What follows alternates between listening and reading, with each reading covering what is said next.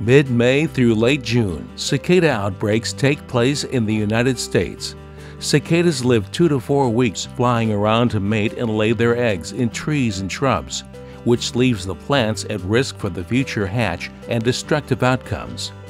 Industrial netting has a proven and simple solution for you to protect your property.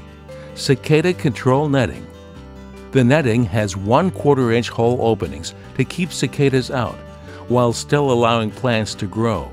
Rolls come in 14 feet wide widths and in lengths of 50 feet, 100 feet, or 200 feet. For the netting installation, simply wrap it around the plant and zip tie it into place. Industrial netting supplies zip ties as well to secure the netting.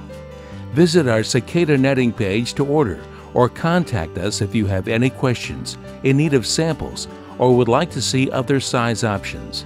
Visit us at industrialnetting.com or call 1 800 328 8456.